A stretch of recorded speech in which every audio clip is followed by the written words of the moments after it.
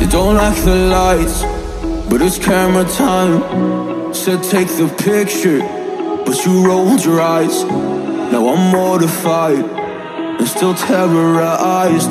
Push me behind to get me from my better side. I wanna push you back, but that's all you want. Wanna rub me up, I'm holding back.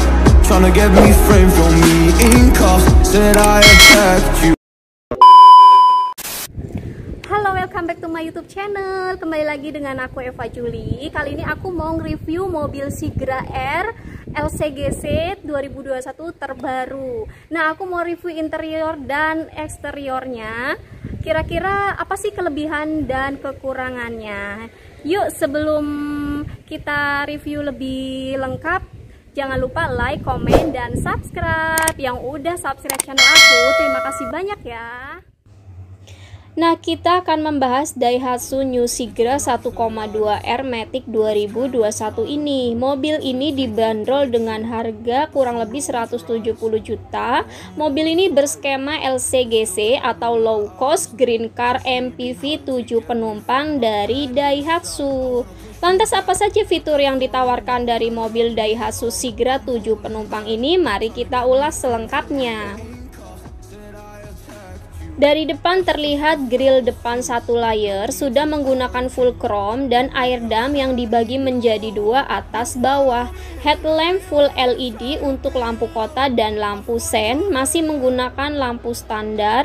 Spion sudah elektrik dan lipat otomatis. Bagian samping pada atas jendela sudah ada talang air, handle pintu model tarik, ban profile 175 per 65 R14 menggunakan velg alloy berwarna grey dan chrome. Nah kita masuk ke interiornya. Untuk joknya bahan fabrik warna abu motif garis-garis. Headrest masih menyatu dengan sandaran. Duduk cukup nyaman sih. Seatbelt ada tiga titik pengemudi dan penumpang Next kita bahas untuk bagian depannya. Setir sudah electric power steering dengan bahan fabrik model Palang 3 dibalut bezel silver dilengkapi SRS back. Layout dashboard berbahan hard touch berwarna abu-abu gelap dan terang. Door train pintu bahan keras dibalut warna silver dan terang. Power window lengkap pengaturan auto ada di sisi pengemudi, handle warna chrome, cup holder ada dua untuk menaruh minuman kecil dan ada juga speaker. Sebelah kanan dashboard ada pengaturan spion elektrik lipat otomatis kisi AC berbentuk lingkaran. Nah, untuk AC pengaturan manual ada kecepatan blower. Ini Sigra Matic ya. Jadi transisi Matic kecepatan konvensional dengan posisi tuas P, parkir R, N, D4, 3 dan 2. Ada si vlognya juga, rem tangan berbentuk tuas tarik. Nah, kita mau bahas untuk head unit sudah touchscreen, sudah support USB, Bluetooth, musik radio, tuner, bisa mengangkat sambungan telepon juga, sudah dilengkapi tampilan kamera mundur juga. Nah untuk bagian atas sendiri dia ada hand grip dan sun visor dilengkapi vanity mirror dan ada juga lampu kabin.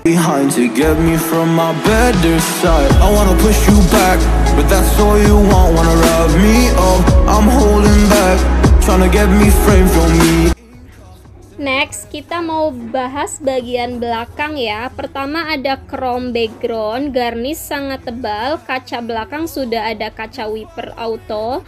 Bagian belakang ada dua titik sensor parkir dan ada satu kamera mundur. Untuk bagasi menurut aku sih cukup luas dan ada cargo netnya juga. Nah itu dia tadi pembahasan aku tentang eksterior dan interior Sigra R 2021 Matic Sekarang kita bahas untuk kelebihannya ya Kelebihan dari Sigra R ini adalah konsumsi bahan bakar irit, memiliki ruang kabin yang cukup luas, mempunyai sistem multimedia touchscreen atau layar sentuh, menawarkan banyak varian dan harganya sangat terjangkau. Dan kita bahas untuk kekurangannya yakni memiliki peredam kurang baik, AC tidak terasa dingin bagi penumpang, tapi menurut aku sih cukup oke okay lah. Untuk ruang kaki baris ketiga terasa sempit, mesin standar dan rem belum ABS.